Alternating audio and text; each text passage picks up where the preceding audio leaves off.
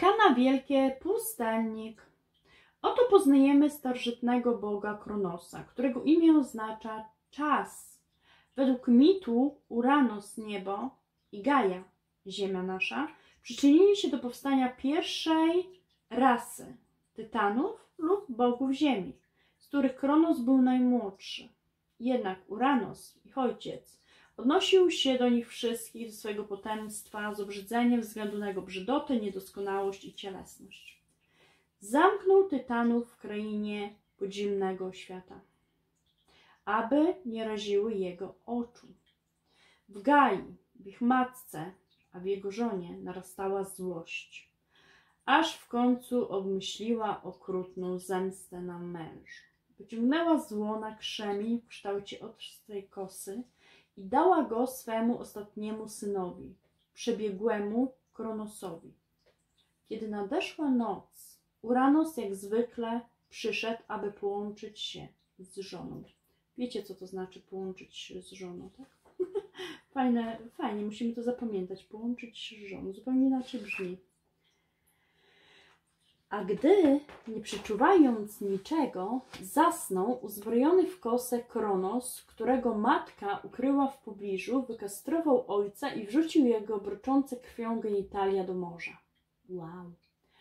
Kronos uwolnił swoich braci i został władcą ziemi. Za czasów jego cierpliwych rządów ukończone zostało tworzenie świata. Ten okres na ziemi znamy jako Złoty Wiek. Słynął z obfitości i przepychu, nad którym piecze stanowił Kronos. Jako Bóg czasu rządził on uporządkowanym tokiem pór roku, narodzin, dorastania, ciąży oraz ponownych narodzin.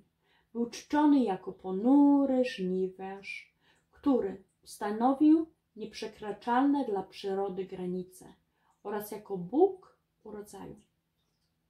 Kronosowi trudno było jednak znieść prawa, które wcześniej sam ustanowił, dotyczące przemijania i cykliczności zjawisk. Przypowiedziano mu, że pewnego dnia jeden z synów obali jego rządy, podobnie jak on uczynił ze swoim ojcem Uranosem. Chcąc zapobiec jakby temu zdarzeniu, połknął wszystkie swoje dzieci, no i tu zaczyna się historia Zeusa, najmłodszego z dzieci Kronosa, którego poznajemy w karcie cesarza. Cesarz jest synem pustelnika. Wow. Według mitu obalił on Kronosa, zdobywszy w ten sposób władzę nad bóstwami olimpijskimi. O, widzicie, cesarz potężny? Kronos został wygnany. Niektórzy twierdzą, że powędrował w głębiny podwodnego świata. Inni zaś, że został wygnany na Wyspy Szczęśliwe, gdzie śpi w oczekiwaniu na początek nowego Złotego Wieku. Hmm. Kronos, nasz pustelnik, jest obrazem ostatniej z czterech lekcji moralnych, w którym musi uczestniczyć nasz głupiec. Ta lekcja moralna dotyczy upływu czasu ograniczeń życia ludzkiego. Głupiec musi zrozumieć niestety, że nic nie może trwać wiecznie i nic nie pozostaje takie same. Nic nie pozostaje niezmienne. To prosta i zarazem oczywista cecha życia, chociaż zdajemy sobie z tego sprawę. Uświadamianie sobie tej prawdy jest dla nas bolesną nauką. Mimo, że to rozumiemy i tak nas to boli, wiedza, że wszystko przemija. Te, ta świadomość, ta mądrość przychodzi do nas z wiekiem i doświadczeniem dopiero. Kronos jest Bogiem, który symbolizuje jednocześnie i upływ czasu, i bunt przeciwko niemu. I to, i to. Zostaje poniżony i obalony. Zdobywa mądrość dopiero w samotności i ciszy. W wielu dziedzinach jest on obrazem naszego ciała, które nieubłaganie niestety dojrzewa. Bardzo szybko czasami, potem się starzeje, a potem się buntujemy buntuje się przeciwko nieubłagalnemu końcowi śmierci. Odkrycie, że w istocie osamotnieni zmierzamy ku śmierci, niesie dylemat, którym musi sprostać każda istota ludzka. Od pustelnika niczego się nie nauczymy, poprzez walkę i rywalizację. Kronos w ogóle jest przeciwieństwem Heraklesa. Heraklesa znamy z tamtej lekcji. On jest, y, to jest karta mocy. Tam mogliśmy się nauczyć. Tutaj się nie nauczymy tego. Wie, że nawet walcząc nie zatrzymamy upływającego czasu. W Złotym Wieku Kronosa satysfakcję przynosi tylko akceptacja tego zjawiska.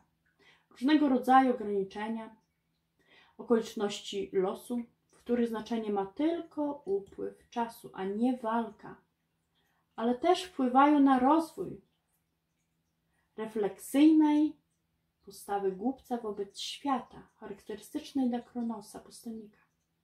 Kronos jest w pewien sposób obrazem pokoju, spokoju, pokory, zrozumienia i no, wielkiej, spoko- wielkiej pokory, wielkiego spokoju, zatrzymania się,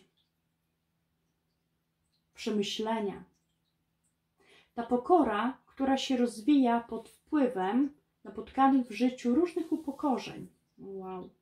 W rezultacie osiągamy wyciszenie i wtedy dopiero spokój ducha, bez którego nie potrafilibyśmy przetrwać wszystkich rozczarowań i pokonać te życiowe przeszkody. Bez tego by się, nam się nie udało. Niezależnie od tego, jak mądrzy jesteśmy, jak gorące mamy serca, jak silne poczucie własnej tożsamości, zmienność życia mogłaby nas zniszczyć, jeśli byśmy się nie nauczyli roztropności i cierpliwości, którą nam daje pustelnik. To dzięki pustelnikowi poznajemy wytrwałość i umiejętność czekania. Jedynie negatywnym obliczem Kronosa jest upór przed zmianami i bezsensowna walka z upływem czasu. Twórczą cechą tego dwulicowego, starożytnego Boga jest dążenie do zmiany tego, co możliwe, oraz zaakceptowanie tego, na co nie mamy żadnego wpływu, lub czekanie w spokoju do czasu, gdy będziemy mogli wprowadzić jakieś zmiany. Z punktu widzenia przepowiednia karty pustelnika wróży czas samotności lub izolacji od życia, od życia nawet wewnętrznego. Zagłębiamy się w sobie, w mądrościach życiowych Czekamy cierpliwie. A cierpliwość okazuje się, że jest na wagę złota. Ten czas będzie okazją do zbudowania solidnych podstaw do dalszego życia, jeśli wystarczy nam sił na czekanie. Tak oto głupiec osiąga dojrzałość właśnie w tej karcie. Rozwinąwszy swój umysł i uczucia wcześniej, mocne poczucie własnej wartości oraz głęboki respekt wobec napotkanych ograniczeń życiowych. Pustelnik.